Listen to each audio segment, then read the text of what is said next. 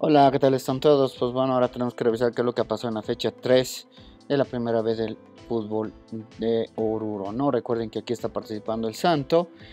Y bueno, se han jugado partidos este anterior domingo 4 de agosto, pero recién estoy haciendo este resumen porque eh, San José ha tenido libre, así es que he esperado a que se publique el fixture para darles información completa. Entonces, domingo 4 de agosto, Universidad perdió 1 a 3 ante VHS Oruro, VHSR Oruro. La cantera empató 2 a 2 con Atlético La Joya. Jóvenes con ganas de triunfar empató 3 a 3 con Húngaros FC y Deportivo Pomata perdió 1 a 7 ante Empresa Minera Guanuni. Empresa Minera Guanuni que está bastante bien.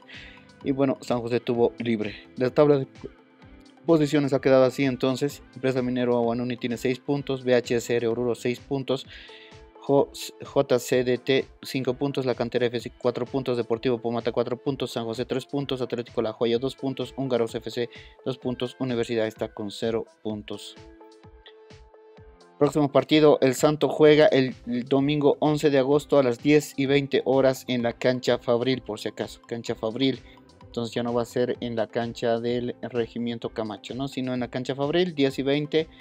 A ver si van a ver al Santo.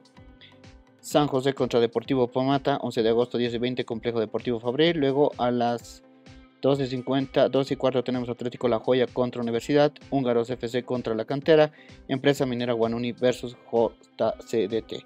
Descansa esta fecha VHSR Oruro. Pues bueno, así está el santo. Mm, hay algunas noticias que no son tan buenas, pero voy a confirmar con gente de Oruro para ver qué tal.